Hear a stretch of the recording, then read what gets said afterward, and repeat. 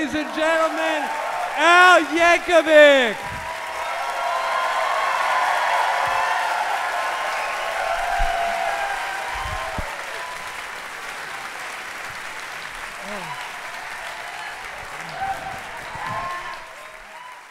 You are um, straight out of Lynwood. Yes. Um, California. Yes. Lynwood is adjacent to Compton. Yeah, I, I went to the same high school that Suge Knight went to.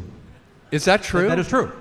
Did he ever like dangle you from a window, or did that never came to But that? not at the same. We didn't go at the same time. Otherwise, I'm sure he would have. Oh, okay. Can we sort of do the Al Yankovic origin story? Because it seems like you were a shy kid. You were not like the class clown. you know, a lot of this to the contrary. I mean, I'm a pretty shy person. Uh, you know, I, I, I feel like I'm pretty withdrawn socially in most occasions, and that's a, a part of my personality that, like, being a recording artist has, has you know, made, made a little bit better. I'm a little bit more comfortable in social situations now. But yeah, I, I grew up a, as a very uh, awkward kid, uh, and was always, and which is, I think, one of the reasons why in my freshman year in college, people would see me in the college dorms and go, "Oh, that's just Weird Al." You make it look easy. The accordion looks like a very difficult instrument. Is it really hard? It, it is uh, apparently. I mean, I started very young, so you know, the synapses are more flexible when you're that age. Yeah. You can learn foreign languages and you can learn the accordion. Right. You know, and I learned when I was uh, teaching Daniel Radcliffe for something that he did with me.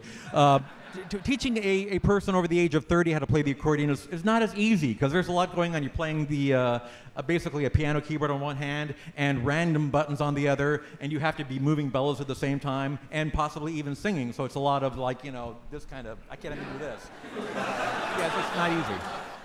The the one I guess that that really sort of went to the next level was was Eat It, Yes. and and um, we need to also discuss food and the role that this because I'm writing my PhD dissertation on the role of food in the work of Al Yankovic. But do you, have you thought about it too much? It Or wa- no, it was it was kind of a financial decision early on because I figured I talked to my accountant about this. I, if I wrote a lot of songs about food, I can write off my grocery bill on, on my taxes. I want to talk a little bit about um, that video because you worked with Michael Jackson's actual choreographer, the guy, the Yes. person who choreographed Michael Jackson in the Beat It video. Yes, Vince Paterson.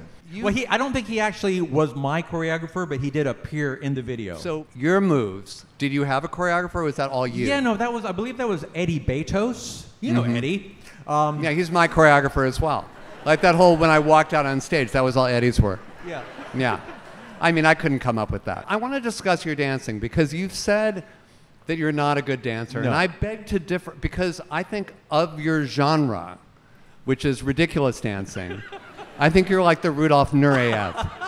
I, I can flail pretty well. I mean, I don't. I have no shame.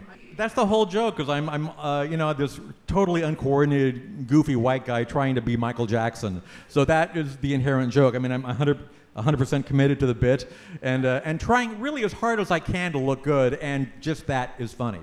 You've had tremendous longevity in the business, and, it, and you, really, your success has in many ways grown and gotten bigger over the years. I, I was kind of thinking that careers have a bell curve. Like my first album did okay, my second album did really well, third album also did really well, and the fourth album not so well. And I thought, okay, I've crested, I'm on my way to obscurity, and I'll just ride this as long as I can. But you know, my my uh, you know my record selling days are pretty much over, I guess.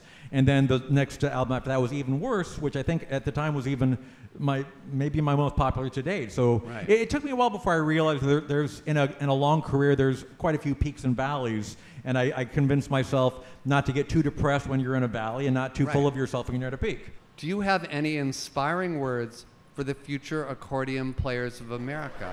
I've heard that.